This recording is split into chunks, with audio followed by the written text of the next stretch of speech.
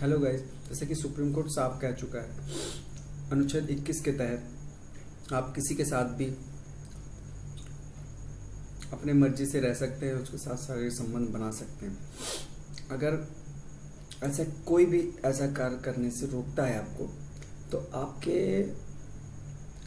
मौलिक अधिकारों का हनन करता है।